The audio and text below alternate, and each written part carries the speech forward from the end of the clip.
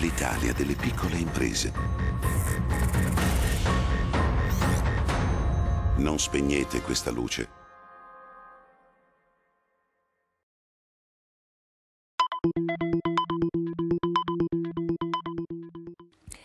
Credito è da sempre uno dei temi caldi per chi fa impresa e soprattutto di questi tempi. La platea di coloro che guardano con preoccupata attenzione ai rapporti con gli istituti di credito si è estesa a tutti gli utenti, messi in difficoltà anche per la poca confidenza con procedure complesse e in particolare con definizioni che di certo non agevolano la comprensione. È il caso del cosiddetto bail-in, oggetto di un recente convegno. Le procedure, in vigore da quest'anno, per la risoluzione delle crisi bancarie, stanno suscitando molti interrogativi fra i risparmiatori.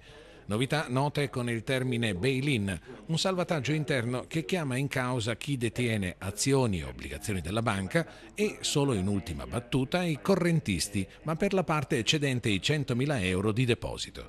In pratica, rispetto al passato, non ci saranno più salvataggi con soldi pubblici. Di questo si è parlato nel corso di un convegno promosso da Artigianfi di Vicenza in collaborazione con Artigian Cassa e BNL per conoscere come oggi si comporteranno le banche in modo da evitare quanto è accaduto nei mesi scorsi a quattro istituti italiani, il fallimento. Un'eccezione, secondo il professor Zen del Dipartimento di Scienze Economiche dell'Università di Padova, a cui non si può giungere se puntuale è la vigilanza, azione preventiva non a caso resa oggi molto più stringente. Eccolo al nostro microfono. La domanda ricorrente che tanti si fanno oggi, ma i miei soldi in banca sono al sicuro? Beh, allora diciamo subito sì, i soldi in banca sono al sicuro, perché dobbiamo pensare che il bail-in non è l'ordinarietà, ma è la straordinarietà, per cui non possiamo credere che oramai tutte le banche così facilmente possano fallire. L'esempio delle quattro banche che sono fallite, d'altra parte, è un'assoluta eccezione. Vogliamo spiegare in parole povere cos'è il bail-in? Ma il bail-in è una diciamo, risoluzione della banca, sostanzialmente è una quasi procedura di fallimento, alla quale però si giunge dopo un uh, iter abbastanza, abbastanza, lungo. Questo significa pertanto che ci sono tutte le possibilità per recuperarla in maniera così precedentemente.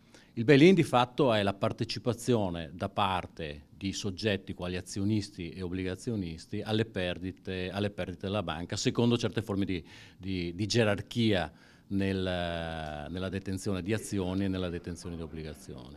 Anche i correntisti? I correntisti, come è noto, fino a 100.000 euro sono sempre protetti.